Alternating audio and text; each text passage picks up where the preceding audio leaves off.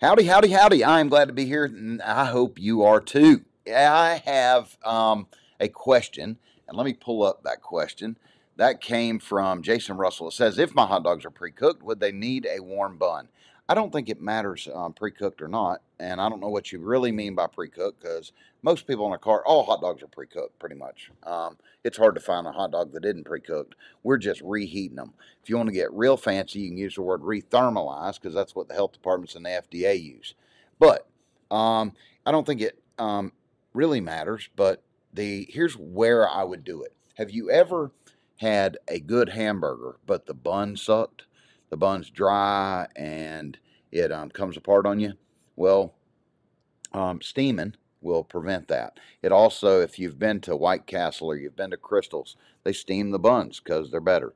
A lot of people will steam their buns in the bag, so you can, if it's sunny outside, even if it's cold, the sun will warm up the the buns and create basically steam inside the bag, and you'll end up with hot, steamy buns. In fact, a vendor um, for years. Um, did a a um, he did a whole song called "Hot Steamy Buns" for us, and we played it for years right here and um, on the on the podcast years ago. So, um, now you go okay. What? How do I keep up with that? Because that's something else I have to do. So let's let's say this: if you buy really quality buns, you don't need to steam them. Okay, they're already going to be soft and the right texture, and they're going to work great. If you're not, or the buns you're buying aren't available, as far as the buns you want aren't available, and you're buying some cheaper bun, um, I'd say don't. But I'd drive out of town for good buns if I needed to. But what you'll need to do is um, you'll steam them, and you can steam those quickly. We've we've talked about before rapid steaming hot dogs and rapid steaming buns. Well, buns take um, seconds. I mean seconds. So you can take two out, put two in, and, and just keep doing that all day long. And that's quick and easy to do. Now, if you do, um, if you want a rapid steam a hot dog, that's a little bit longer, but even from frozen, they, they're still 90 seconds, um, maybe two minutes. Um, that just doesn't take long to rapid steam. But, and what rapid steam is, and I put it here for you, learnhotdogs.com forward slash steamy, and go check that out because I show you the steamed buns and steamed hot dogs.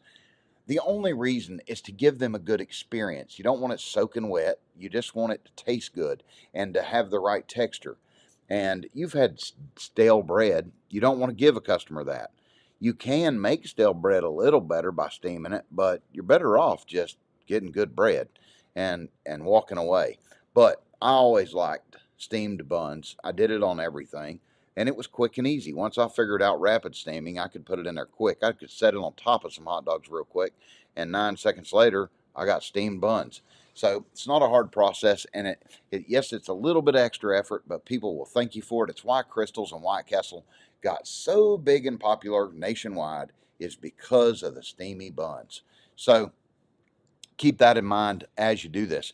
Now, I will tell you this: if you're not steaming buns and you're using like um, what do they call them, pan loaves and stuff like that, the more dense buns.